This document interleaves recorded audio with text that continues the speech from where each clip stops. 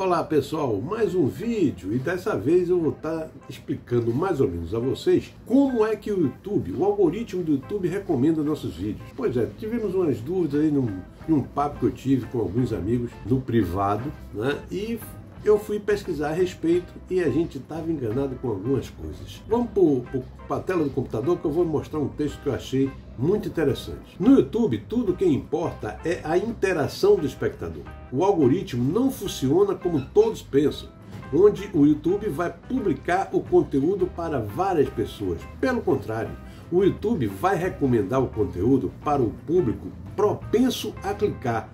Mas para isso acontecer, vários fatores internos são analisados, como taxa de cliques, retenção de público, impressões, título e miniatura, todos os quais influenciarão a ocorrência de uma recomendação.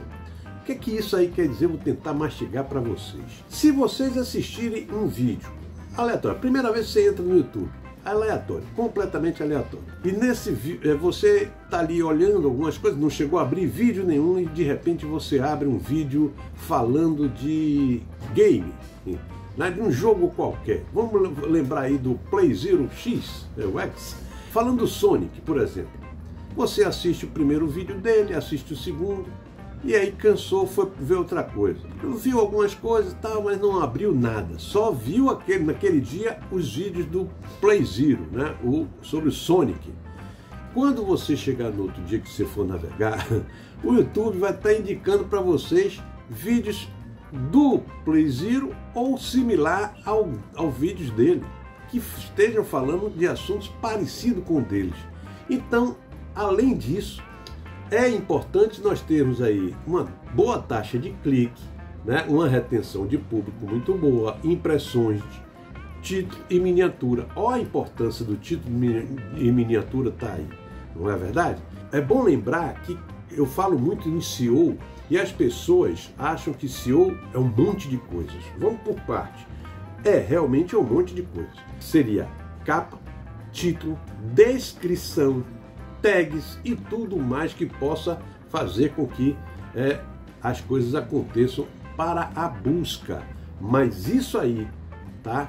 É, esse fato da pessoa, do espectador, porque é como eu venho falando, o YouTube não analisa o seu vídeo, ele analisa do que os espectadores gostam.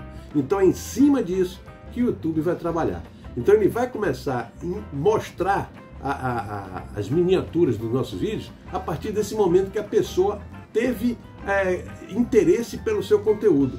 Então, vocês têm que ter é, um canal com, uma, com assuntos e ter um público específico. É muito importante que nós tenhamos público específico. Então, um canal que tem muitas coisas, fala de muitas coisas ao mesmo tempo, o algoritmo vai ficar confuso. E aí quem sabe ele vai ou não entregar para as pessoas. Então aí as pessoas falam, ah, o YouTube não está entregando meu conteúdo, não está entregando meu vídeo.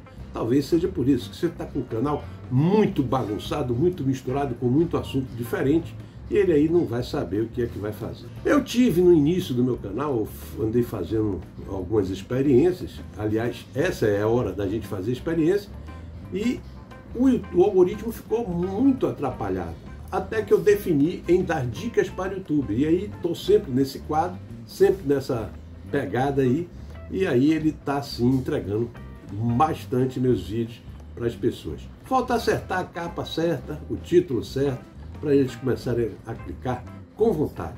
Essa é a dica de hoje. Eu vou ficando por aqui, me despedindo de vocês. Quem gostou, deixa o like aí. Vamos fazer uma meta aí de 50 likes, como sempre. 50 likes. E também quem caiu do céu, se inscreve no canal, marca o sininho de notificações e deixem aí nos comentários se vocês se preocupam com isso, com a taxa de cliques, retenção de público, impressões, títulos e miniaturas. Vocês fazem o CEO? Um abraço, um cheiro, um suspiro dobrado, um amor sem fim. Fui!